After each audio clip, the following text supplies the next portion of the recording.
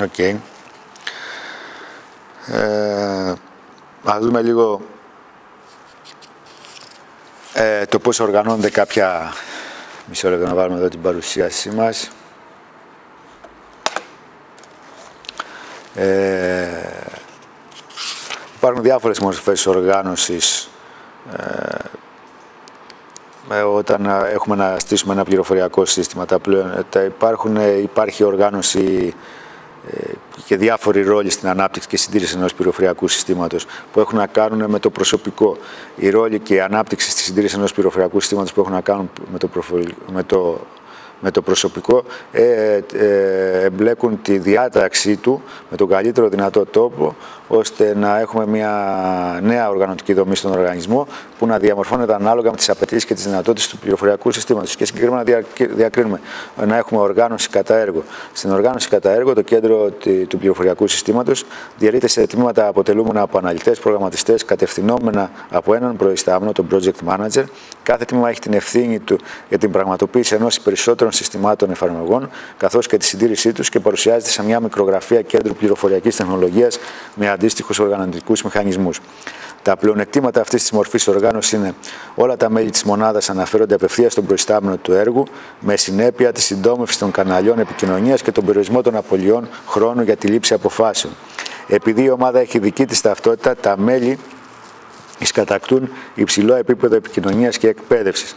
Έχει βέβαια και μερικά μειονεκτήματα που αφορά στην προσπάθεια της ομάδας για εξασφάλιση αυτάρκειας με αποτέλεσμα να συσσωρεύονται μεγάλες ποσότητες πόρων που υποαπασχολούνται. Αν εκτελούνται πολλά παράλληλα έργα με την ίδια μορφή οργάνωση, τα οποία είναι ανταγωνιστικά μεταξύ τους, πολλαπλασιάζεται η καταβαλλόμενη προσπάθεια από τα μέλη της ομάδας. Η εμπειρία και η τεχνογνωσία δεν διαχειόνται, αλλά μένουν στα πλαίσια αυτής της ομάδας.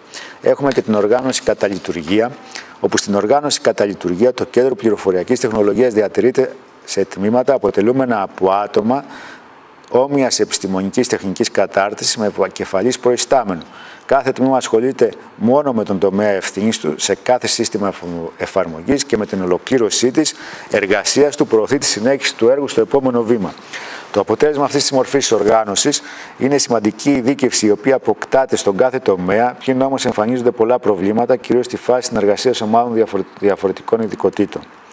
Τα πλεονεκτήματα αυτής της μορφής οργάνωσης είναι ότι παρουσιάζει μεγάλη ευληγησία στην αξιοποίηση προσωπικού, καθώς και αυτό μπορεί να απασχολείται από έργο σε έργο ανάλογα με τις ανάγκες. Η συσσωρευμένη εμπειρία διαχέεται σε όλο το κέντρο πληροφοριακής τεχνολογίας. Τα τμήματα του κέντρου πληροφοριακής τεχνολογίας αποτελούν τους χώρους αξιολόγησης και εξέλιξης προσωπικού, κάτι το οποίο φαίνεται πιο φυσικό στους εργαζομένους. Μειονεκτήματα έχουν να κάνουν ότι ο αποδέκτη του έργου ή των υπηρεσιών αισθάνεται ότι δεν γνωρίζει σε ποιον να απευθυνθεί για το έργο, δεδομένου ότι το κέντρο, πληροφο... το κέντρο ε, ε, του πληροφοριακού συστήματος παρουσιάζεται απρόσωπο. Δεν εντοπίζεται εύκολο υπεύθυνος για το κάθε πρόβλημα. Κάθε τμήμα ασχολείται με κάθε έργο κατά προτεραιότητα με αποτέλεσμα την απώλεια χρόνου. Το έργο αντιμετωπίζεται από το Κέντρο Πληροφοριακής Τεχνολογίας αποσυμβηματικά και όχι συνολικά. Επίσης υπάρχει και η οργάνωση τύπου πίνακα, όπου η οργάνωση τύπου πίνακα τι είναι; Ε, είναι, δηλαδή, είναι ο συνδυασμός των δύο προηγούμενων τύπων, ε, όπου εδώ έχουμε το, κεντρο, το κεντρικό δράση του πληροφορικού συστήματος είναι μεν οργανωμένη κατά λειτουργία, αλλά κατά την έναρξη ενός έργου δημιουργείται ομάδα με τη δομή οργάνωσης έργου, με την απόσπαση εργαζομένων από τα τμήματα στα οποία ανήκουν και στην οποία ομάδα διαλύεται στο τέλος του έργου με την επιστροφή των εργαζομένων στα προηγούμενα λειτουργικά τους τμήματα. Ε, υπάρχουν τρεις συνηθισμένες ποικιλίες οργάνωσης αυτής της μορφής οργάνωση. Είναι η οργάνωση πίνακα με συντονισμό, η οποία πλησιάζει περισσότερο στην οργάνωση κατά λειτουργία, όπου εδώ ο project manager συντονίζει τους πόρους μέσω των λειτουργικών τμήματων του Κέντρου Πληροφοριακής Τεχνολογίας. Η οργάνωση επικαλυπτόμενου πίνακα επιτρέπει στο project manager να έχει την ίδια εξουσία με τους αμέσως υφιστάμενους manager και να διαχειρίζεται τους πόρους σε συνεργασία μαζί τους. Η οργάνωση δευτερεύοντος πίνακα αποτελεί μια καθαρή μορφή οργάνωσης κατά έργο. Τα πλεονεκτήματα αυτής της οργάνωσης είναι ότι το έργο έχει σαν σημείο αναφοράς στον project manager, έχει ταχύ αντίδραση στι απαιτήσει του αποδέκτη του έργου, αν και υπάρχει αποκλειστική ομάδα του έργου, εξασφαλίζεται η συνέχεια της πολιτικής του Κέντρου Πληροφοριακής Τεχνολογίας και η κατανομή εμπειρίας στα διάφορα τμήματά του και αντιμετωπίζονται καλύτερα ταυτόχρονα έργα με τη μετακίνηση προσωπικού από έργο σε έργο. Μειονεκτήματα είναι η, απέκτηση, η απέτηση αποκέντρωσης αρμοδιοτήτων με την εκφόρεσή τους στον project manager, όπου έρχεται σε σύγκρουση με τη συγκεντρωτική αντίληψη διοίκησης. Απαιτεί διασαφήνιση των ρόλων όλων των εμπλεκομένων.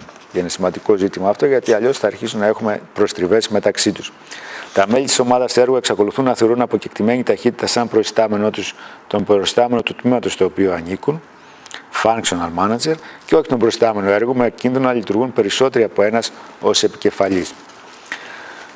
Στην πληροφορική τελικού χρήστη. Οι τελικοί χρήστες είναι αντιπρόσωποι εξωτερικών ως προς το πληροφοριακό σύστημα τμήματων για τους οποίους προορίζονται οι εφαρμογές πληροφορικής. Αυτή η κατηγορία, κατηγορία χρηστών παίζει όλο ένα και μεγαλύτερο ρόλο στη σχεδίαση και ανάπτυξη των πληροφοριακών συστημάτων. Η οργάνωση τελικού χρήστη ε, σύμφωνα με τις σύγχρονε απόψεις, η ανάπτυξη των πληροφοριακών συστημάτων πρέπει να λαμβάνει ένα ίσο βαθμό, σε ίσο βαθμό τις ανθρώπινες και τεχνολογικές ανάγκες θέτοντας ταυτόχρονα ανθρωπιστικούς και τεχνολογικούς στόχους. Η σχεδίαση θα πρέπει να λαμβάνει υπόψη της ε, τις τέσσερις αλεξαρτώμενες μεταβλητές που είναι η τεχνολογία, εργαζόμενη, η θέση εργασίας, ικανοποίηση από την εργασία δηλαδή που κάνει ο κάθε εργαζόμενος, την επιχείρηση και του, με τους σκοπούς και τους στόχους του. Ε, στην οργάνωση του τελικού χρήστη διακρίνουν μια σειρά από πλεονεκτήματα και από πλεονεκτήματα. Τα πλεονεκτήματα έχουν να κάνουν με την επιδίωξη να δώσουμε στους χρήστες τη δυνατότητα να επηρεάσουν το σχεδιασμό του συστήματος. Οι χρήστες που παίρνουν μέρος στη λήψη απόφασης αποκτούν αίσθηση ιδιαιτερότητας και ιδιοκτησίας απέναντι στο σύστημα. Οι χρήστες ασκούν μεγαλύτερο έλεγχο στην εμφάνιση του τελικού προϊόντος. Το τελικό προϊόν δεν εξαρτάται πια απόλυτα από τους αναλυτές του συστήματος. Η αντίδραση των χρηστών απέναντι στο νέο σύστημα μειώνεται ή δεν εμφανίζεται καθώς το προϊόν είναι δημιούργημα των ίδιων των χρηστών, η εμπλοκή των χρηστών στην ανάπτυξη του πληροφοριακού συστήματος είναι ουσιαστική. Δεν περιορίζεται μόνο στην παραχώρηση συνεντεύξεων όπως κάνουν παλαιέ άλλες μεθοδολογίες. Εξετάζει γενικότερα προβλήματα οργανωτικής δομής, άρα μπορεί να χρησιμοποιηθεί για την ανάλυση και το σχεδιασμό όχι μόνο ε, αυτοματοποιημένων πληροφοριακών συστημάτων, αλλά και άλλης μορφής οργανωτικού σχήματος. Τα μειονεκτήματα είναι ότι στερεί στον τομέα του τεχνικού σχεδιασμού, καθώς δεν περιέχει συγκεκριμένες τεχνικές που να υποστηρίζουν την αντιμετώπιση τεχνικών θεμάτων. Δεν υποστηρίζεται από αυτοματοποιημένα εργαλεία, ούτε είναι εύκολο να αυτοματοποιηθεί. Αν η διοίκηση δεν διευκολύνει τη ροή των πληροφοριών, τότε είναι πιθανόν οι χρήστε να μην έχουν επαρκή στοιχεία και γνώση για να πάρουν ορθές αποφάσεις, μειώνοντας έτσι σημαντικά τα θετικά αποτελέσματα της συμμετοχής τους. Απαιτεί μεγαλύτερη χρονική διάρκεια λόγω της εκπαίδευσης αλλά και της όλης οργάνωσης της συμμετοχικής διαδικασίας. Οι στόχοι που θα προκύψουν μπορεί να είναι αντικρουόμενοι, γεγονός που μπορεί να προκαλέσει διαμάχες αντί να οδηγήσει σε βελτίωση της υπάρχουσας κατάστασης. Ο συγκεκριμένο απόψεων μεταξύ επαλλήλων και διοίκησης και η έβριση σταθερή σχέση μεταξύ δραστηριοτήτων, τεχνολογίας, ανθρώπων και επιχειρηματικών στόχων είναι ένα πάρα πολύ δύσκολο πρόβλημα. Επίσης έχει και υψηλό κόστος, αφού είναι χρονοβόρα και γενικά η συμμετοχική θεώρηση απαιτεί αρκετούς ανθρώπινους πόρους.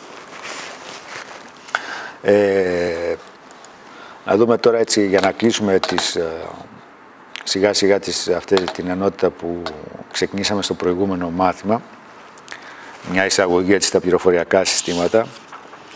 Ε, να δούμε λίγο πέρα από την ασφάλεια που μιλήσαμε για την προστασία των δεδομένων και τα ηθικά ζητήματα, έχουμε να κάνουμε και με κάποια ηθικά και πολιτικά θέματα, όπου πλέον επειδή πάρα πολλές επιχειρήσεις διατηρούν ισχυρούς υπολογιστές, τους επωνομαζόμενους σερβες, τους εξυπηρετητές που θυκεύουν τα δεδομένα και εκτελούν ειδικό λογισμικό για την παροχή πληροφοριών και υπηρεσιών συστήματος στους χρήστες του εταιρικού δικτύου, του intranet, extranet και του ίντερνετ, όπου μιλάμε εδώ πέρα, ξέρω εγώ, μπορεί να έχουμε site που, που θυκεύουν, αυτοί λειτουργούν συνεχώς, ε, δίνουν πληροφορίες, καταναλώνουν ισχύ.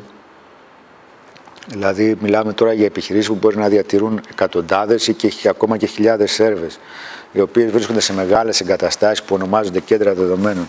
Για παράδειγμα, η Microsoft με κέντρο δεδομένων 400.000 τετραγωνικών ποδιών στο Σαν Αντώνιο ε, με κόστος 550 εκατομμυρίων δολαρίων. Η Google επενδύει 750 εκατομμύρια δολάρια σε ένα κέντρο δεδομένων με εγκαταστάσεις στο Goose, Goose Creek στη Νότια Καρολίνα αξίας 600 εκατομμύριων ευρώ ε, και 600 εκατομμύρια δολάρια σε μια εγκαταστάση στο, στη Βόρεια Καρολίνα, στο, στην πόλη που ονομάζεται Λενουάρ. Αυτά τα κέντρα δεδομένων αποτούν πάρα πολύ ενέργεια για την επεξεργασία και τη διατήρηση των θερμοκρησιών των data set. Αυτά τα μηχανήματα πρέπει να, πέρα από την κατανάλωση ισχύως ηλεκτρικής ενέργειας στην προκειμένη περίπτωση που έχουν αυτά τα ίδια ως μηχανήματα κατα... χρειάζονται να βρίσκονται μέσα σε συγκεκριμένες συνθήκες περιβάλλοντος, σε συγκεκριμένες θερμοκρασίες με αποτέλεσμα επειδή αυτά τα μηχανήματα ε, εκκλείουν μεγάλη θερμότητα η, χώρη, η θερμοκρασία που αναπτύσσεται σε αυτούς τους χώρους να ανεβαίνει σε πολύ μεγάλα επίπεδα με αποτέλεσμα τα μηχανήματα να μην μπορούν να λειτουργήσουν. Γι' αυτό τα, αυτά τα κέντρα είναι φοδιασμένα με κλιματισμό, ο οποίος κλιματισμός προσπαθεί να διατηρήσει σε αυτά τα μηχανήματα τη θερμοκρασία στους 18 βαθμούς Κελσίου. Φανταστείτε το τι ενέργεια απαιτείται για να διατηρηθεί η θερμοκρασία 18 βαθμούς Κελσίου όταν έχουμε μια τεράστια έκκληση θερμότητας από όλα αυτά τα μηχανήματα που βρίσκονται σε ένα data center. Εκτιμάται ότι το κόστος που απαιτείται για να ψυχθεί ένα κέντρο δεδομένων είναι ίσο με το κόστος των ίδιων των εξυπηρετητών. Δηλαδή, όσο ξοδέψαμε για να αγοράσουμε τους σερβερ, άλλο τόσο πρέπει να ξοδεύουμε για να ψύχουμε το κέντρο δεδομένων μας. Με την αύξηση της ευαισθητοποίησης της υπερθέρμανσης του πλανήτη, βλέπετε φαινόμενο του θερμοκηπίου, θα μου πείτε πολλοί το αμφισβητούν. Ε, άλλοι λένε ότι δεν πάμε σε φάση θέρμανσης του πλανήτη, αλλά έρχεται νέα εποχή των παγετών. Βέβαια έχουμε μπερδευτεί με όλα αυτά που διαβάζουμε, αλλά τέλος πάντων ε, αυτή η τεράστια κατανάλωση ισχύως και σπατάλη ενέργειας που γίνεται στα κέντρα ε, δεδομένων ε, έχει οδηγήσει στην ε, ευαισθητοποίηση του κοινού και των περιβαλλοντολογικών και άλλων φορέων. Ας πούμε η Υπηρεσία Προστασίας Περιβάλλοντος των ΗΠΑ ε, προχώρησε στην ανάλυση της επίδρασης των data centers στο περιβάλλον. Η Ομοσπονδιακή Κυβέρνηση τον ΗΠΑ σχεδιάζει να αντικαταστήσει τα δικά της κέντρα δεδομένων σε μικρότερα για να έχει μεγαλύτερη ε, ε, να έχει ε, μεγαλύτερη απόδοση με λιγότερη κατανάλωση ισχύως. Να μην υπάρχει αυτή η αλόγιστη χρησιμοποίηση ε, εξυπηρετητών, να μην υπάρχουν αυτά τα κολοσσιά data center που έχουν ε, αυτή την τεράστια κατανάλωση. Η έκθεση της προστασίας περιβάλλοντος προβλέπει ότι η κατανάλωση σε, σε ρεύμα των data center θα μπορούσε να μειωθεί και κατά 20% αν στο κέντρο δεδομένων οι διαχειριστές λάμβαναν απλές προφυλάξεις όπως είναι η χρήση διαχείρισης ισχύως και η απενεργοποίηση των χρησιμοποιητών εξυπηρετητών, των χρησιμοποιητών σερβερ. Δηλαδή, τι εννοούμε με αυτό, αν ξέρω εγώ, έχουμε μέσα σε ένα χώρο ξέρω εγώ, χίλιους υπολογιστές, δεν χρειάζονται όλοι να δουλεύουν ταυτόχρονα γιατί η κίνηση, η, η ανάγκη για διακίνηση πληροφορίας μπορεί να, να γίνει και από τους μισούς και σε κάποια στιγμή, σε κάποια συγκεκριμένα χρονικά διαστήματα που χρειάζονται όλοι, τότε αυτόματα να μπαίνουν στη λειτουργία. Αντί να τους αφήνουμε σε stand-by να δουλεύουν χωρίς να κάνουν τίποτα, θα μπορούσε να υπάρχει μια διαχείριση ισχύως και να λέμε ότι όταν είναι ένα σερβερ είναι ανενεργός, να σβήνει, με αποτέλεσμα να έχουμε μεγάλη εξοικονόμηση ενέργειας. Και όταν χρειάζεται να δουλέψουν όλοι αυτοί, να επανέρχονται σε λειτουργία. Ε, βλέπετε ότι τίθονται τεράστια ζητήματα που έχουν να κάνουν ε, με όλα αυτά τα, τα θέματα κατανάλωσης ισχύω στα κέντρα δεδομένων που πλέον τα κέντρα δεδομένων μέρα με τη μέρα και συνεχώς μεγαλώνουν.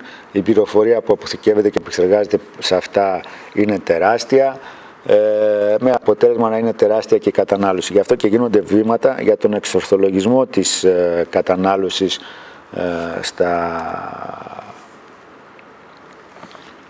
στα, κέντρα, στα κέντρα δεδομένων που είναι ένα βασικό κομμάτι και μια, βασική, και μια μεγάλη πρόκληση για τους ε, σχεδιαστές των ε, data center το πώς θα μπορέσουν αυτά να τα κάνουν ε, ενεργειακά πιο αποδοτικά. Ε, παγκόσμιες προκλήσεις σε συστήματα πληροφοριών. Τα πληροφοριακά συστήματα σήμερα έχουν, είναι ουσιαστικά το άρμα το, που οδηγεί την παγκοσμιοποίηση. Η υψηλής ταχύτητας, η υψηλή ταχύτητα πρόσβασης στο ίντερνετ και τα δίκτυα που μπορούν να συνδεθούν με άτομα και οργανώσεις σε όλο τον κόσμο δημιουργούν διεθνείς ευκαιρίες. Οι παγκόσμιες αγορές έχουν επεκταθεί, οι άνθρωποι και οι εταιρείες μπορούν να πάρουν προϊόντα και υπηρεσίες από όλο τον κόσμο αντί να είναι γύρω από το σπίτι τους ή από την απέναντι γωνία ή μέσα στην ίδια πόλη. Αυτές οι ευκαιρίες όμως φέρουν πολλά εμπόδια και προβλήματα συμπεριλαμβανομένων και των προκλήσεων που αφορούν τον πολιτισμό, τη γλώσσα και πολλά άλλα. Δηλαδή, εγώ πουλάω εδώ ένα προϊόν, πουλάω ξέρω εγώ, προϊόντα τα οποία είναι παράγωγα του χοιρινού κρέατος. Αν πάω να πουλήσω αυτά τα προϊόντα στο διαδίκτυο παράγωγα του χοιρινού κρέατος σε το Πακιστάν ας πούμε, ή στην Ινδονησία που είναι από τις πληθέστερες μουσουλμανικές χώρες, το, το, ε, είναι βέβαιο ότι δεν θα πουλήσω τίποτα, διότι ως γνωστόν οι μουσουλμάνοι δεν τους επιτρέπει η θρησκεία τους να τρώνε χοιρινό κρέας. Ε, η γλώσσα ε, αφορά έναν άλλο ανασταλτικό παράγοντα στα, στην περαιτέρω ανάπτυξη ε, των, αυτών των ε, συστημάτων, ε, ιδίως των συστημάτων που αναφέρονται σε εικονικές επιχειρήσεις ε, που παρέχουν υπηρεσίες e-commerce ή business, ε, είναι σημαντικός παρά, ανασταλτικός παράγοντας γιατί αυτή η πολυγλωσία του πλανήτη, εντάξει μπορεί αυτό να μην είναι, δεν είναι αρνητικό, πολλές φορές είναι και θετικό, αλλά αυτή η πολυγλωσία θα πρέπει το site μας να, η επιχείρηση να έχει τη δυνατότητα στις πιο κύριες γλώσσες του, στις πιο πολύ ομιλούμενες γλώσσες του κόσμου να μπορεί να παρέχει, να παρέχει τις υπηρεσίες προσφερόμενες και σε αυτές τις γλώσσες, γιατί αλλιώς θα, έχει, θα αποκομίσει πάρα πολλά μειονεκτήματα αντί για πλεονεκτήματα.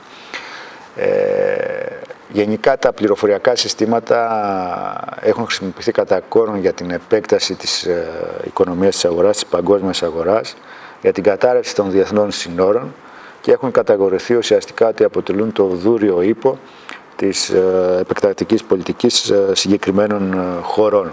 Τώρα κατά πόσον αυτά όλα αληθεύουν ή είναι, ξέρετε, θεωρία συνωμοσίας, μιας και είναι δόκιμος όρος και είναι όρος των ημερών που ζούμε. Ε, φαντάζομαι ότι οι ιστορικοί του μέλλοντος θα το κρίνουν. Ε, από προσωπική μου άποψη πιστεύω ότι τα πληροφοριακά συστήματα όπως και κάθε τι που έχουμε σήμερα στη ζωή μας έχουν και τα θετικά τους και τα αρνητικά τους. Το αν θα εκμεταλλευτούμε τα θετικά τους και θα απορρίψουμε τα αρνητικά τους εξαρτάται στην, στον καθένα μας και στο πόσο κατάλληλα εκπαιδευμένος είναι και ικανός να ξεχωρίσει το τι είναι καλό για αυτόν και για τα παιδιά του, για την οικογένειά του, για τον τόπο του, για την κοινωνία του και τι πρέπει να πετάξει. Και, μόνο, και όλα αυτά γίνονται μόνο μέσα από την κατανόηση το πώς λειτουργεί όλο αυτό το σύστημα και η κατανόηση για το πώς λειτουργεί όλο αυτό το σύστημα έρχεται μόνο μέσα από την παροχή μιας κατάλληλης και υψηλού, υψηλού επίπεδου εκπαίδευσης το οποίο δεν έχει να κάνει μόνο με τα ΑΕ και τα ΤΕΙ, αλλά έχει να κάνει με όλες τις επιμέρους βαθμίδες της εκπαίδευσης.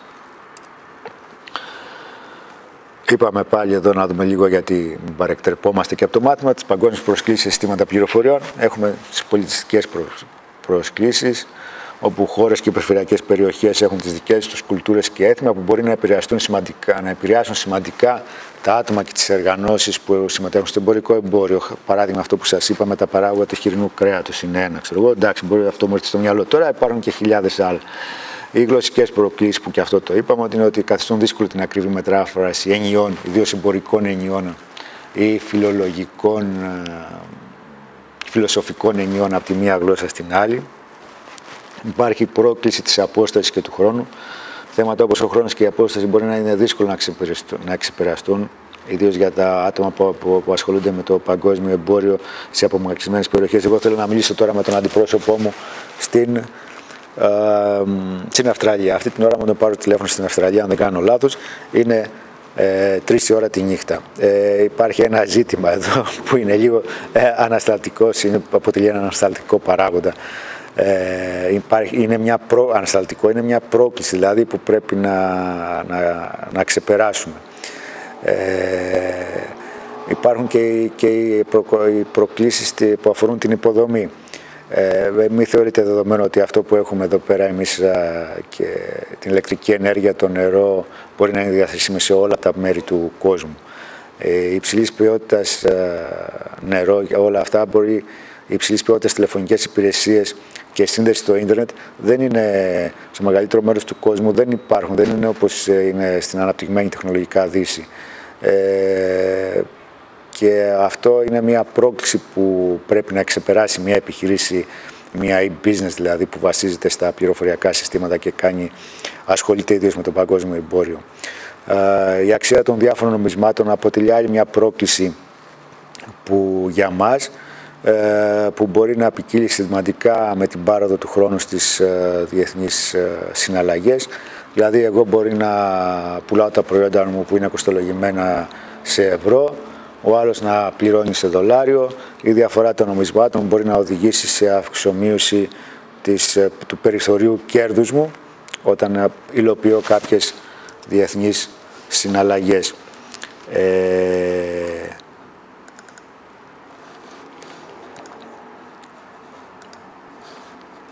μισό λεπτό γιατί βγάλαμε τη διαφάνεια. Ε, Επίσης υπάρχει ξέρω εγώ, ότι όταν έχουμε κάποια προϊόντα που είναι απτά, δηλαδή δεν είναι, έχουμε να πουλήσουμε λογισμικό που μπορεί να το κατεβάσουμε απευθείας στον υπολογιστή, ότι έχουμε να πουλήσουμε ξέρω εγώ, ένα αυτοκίνητο ποδήλατο. Αυτή η δυσκολία στο να παραδοθούν στην παγκόσμια αγορά είναι ένα, μια πρόκληση που πρέπει και αυτή να αντιμετωπίσουμε. Ε, οι περισσότερες κυβερνήσεις δεν επιτρέπουν ε, ε, να πουλούνται στρατιωτικοί εξοπλισμοί και συστήματα σε ορισμένες χώρες. Ε, πολλοί πιστεύουν ότι ξένες εταιρείες κλέβουν την πνευματική διοκτησία, εμπορικά μυστικά και προϊόντα, δημιουργώντας υπηρεσίες παραχάραξης. Όλα αυτά που σχετίζονται με θέματα μεταφοράς τεχνολογίας είναι και αυτό μια πρόκληση που έρχεται και που πρέπει να ζητεί άμεση αντιμετώπιση από τους ε, μάνατζερ των πληροφοριακών συστημάτων και των εταιριών. Η κρατική, κάθε κράτος, περιοχή και χώρα έχει ένα σύνολο νόμων που πρέπει να τηρούνται από τους πολίτες και τις εταιρείες που δραστηριοποιούνται στη χώρα. Οι νόμοι αυτοί μπορεί να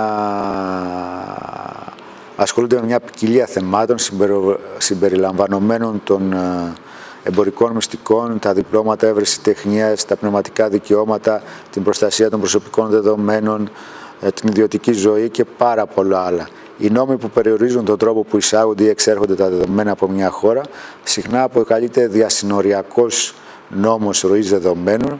Η παρακολούθηση αυτών των νόμων και η ενσωμάτωσή τους στις διαδικασίες και τα συστήματα πληροφορικής των πολυεθνικών και διεθνικών εταιριών μπορεί να είναι πολύ δύσκολη και πάρα πολύ χρονοβόρα.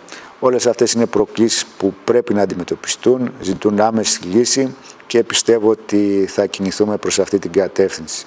Ε, μην ξεχνάμε ότι ζούμε σε μια εποχή όπου πλέον η πληροφορία αποτελεί ε, και η κατοχή της πληροφορίας και η ταχύτητα μετάδοσης της πληροφορίας αποτελεί δύναμη για την ανάπτυξη ενός οργανισμού μιας εταιρείας, αλλά και δύναμη άμυνας ενός ατόμου απέναντι σε όλο αυτό το σύστημα, το δεδαλώδες σύστημα που έχει, το παγκόσμιο δεδαλώδες σύστημα που έχει αναπτυχθεί.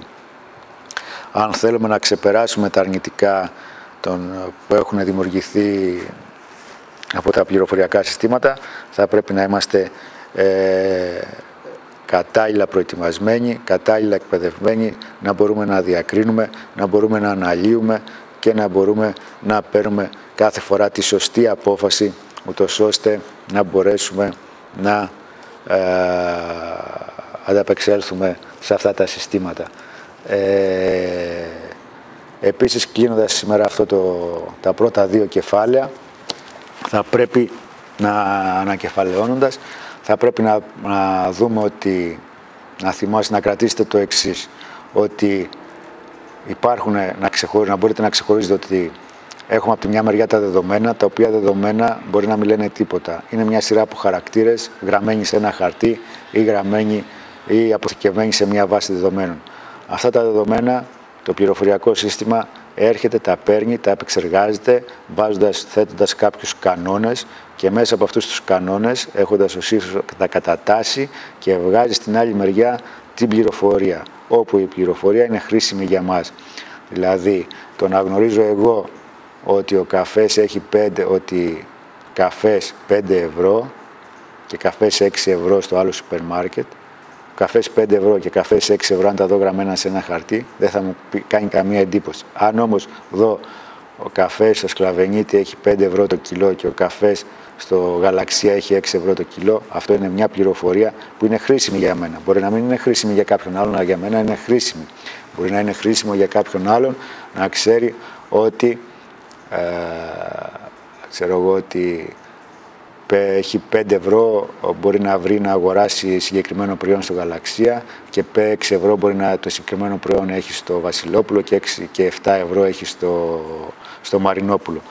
Βλέπουμε εδώ ότι τα δεδομένα γίνονται πληροφορίες ανάλογα με το τι ζητάμε, ποιους κανόνες τα βάζουμε και τα επεξεργαζόμαστε. Αυτοί οι κανόνες που μπαίνουν και επεξεργάζονται τα δεδομένα και τα κάνουν πληροφορία είναι οι κανόνες που βασίζεται και ένα πληροφοριακό σύστημα ανάλογα με το τι θέλουμε να πάρουμε στην έξοδό του. Έχουμε τις κατάλληλες εισόδους και έχουμε και τους κατάλληλους κανόνες επεξεργασίας με αποτέλεσμα να δίνουμε να παίρνουμε την πληροφορία που θέλουμε. Ε,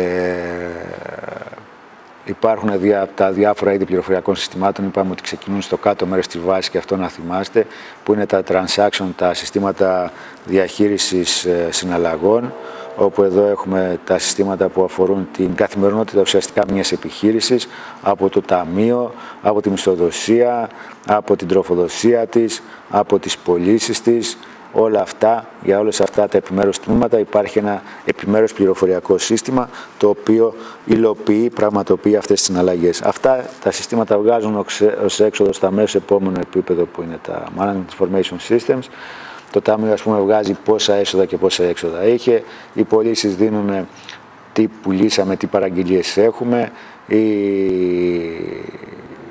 ο εφοδιασμός, οι προμήθειες δίνουν ότι έχουμε αυτές τις ελλείψεις, πρέπει να αγοράσουμε αυτά τα υλικά, τι αγοράσαμε αυτό το μήνα, τι χρειαστήκαμε και τι αγοράσαμε και τι ελλείψεις έχουμε. Όλα αυτά ανεβαίνουν στο από πάνω επίπεδο, όπου εκεί ο, ο, οι διευθυντές που ασχολούνται μπορούν να έχουν μία άποψη όλης της επιχείρησης μπροστά τους, να πάσα στιγμή να ξέρουν ακριβώς όλα τα τμήματα πώς λειτουργούν, τι αποτελέσματα έχουν και να πάρουν συγκεκριμένες αποφάσεις ε, που αφορούν τη λειτουργία της επιχείρησης και αυτό το σύστημα που πάνω βγάζει κάποιες αναφορές που πάνε στα μεγαλύτερα, στα πιο υψηλόβαθμα κλιμάκια αποφάσεων, τα οποία έρχονται και παίρνουν και χαράζουν το στρατηγικό στόχο μιας εταιρείας και ενός ε, οργανισμού. Ο οποίος οργανισμός ε, βλέπετε ότι είναι αλληλένδετα το ένα, το, ε, το ένα η έξοδος του ενός συστήματος γίνεται σε είσοδος στο άλλο. Θυμηθείτε την πυραμίδα που είπαμε στην αρχή του μαθήματος. Γίνεται είσοδος στο άλλο με αποτέλεσμα έτσι να λειτουργεί η επιχείρηση από τα TPS στα MIS και στα, ε, στα, τα επίπεδα στο, στα πληροφοριακά συστήματα ε, διαχείρισης της γνώσης της, ε, της διαχείρισης της γνώσης, Knowledge Management Systems. Και θυμηθείτε ότι έχουμε και τα συστήματα ειδικών σκοπών, όπως είναι τα, τα συστήματα κινητής νοημοσύνης, τα συστήματα εικονικής πραγματικότητας, τα οποία πληροφοριακά συστήματα χρησιμεύουν σε συγκεκριμένους ε, σκοπούς και στόχους. Τώρα αν έχει κάποιος να κάνει καμιά ερώτηση πάνω σε αυτά που είπαμε μέχρι τώρα, άλλως να ολοκληρώσουμε σιγά σιγά και να την επόμενη φορά να προχωρήσουμε και να αναλύσουμε περισσότερο και σε μεγαλύτερο βάθος αυτά που έχουμε πει μέχρι σήμερα και να δούμε πιο αναλυτικά και να προχωρήσουμε και το, να δούμε πώς γίνεται ο σχεδιασμός και η ανάπτυξη των πληροφοριακών συστημάτων. Έχει κανείς να ρωτήσει τίποτα; Όχι. Ευχαριστώ πάρα πολύ. Θα τα πούμε την ερχόμενη φορά και θα τα πούμε και στο εργαστήριο που ξεκινάει την, ε, τις επόμενες ώρες.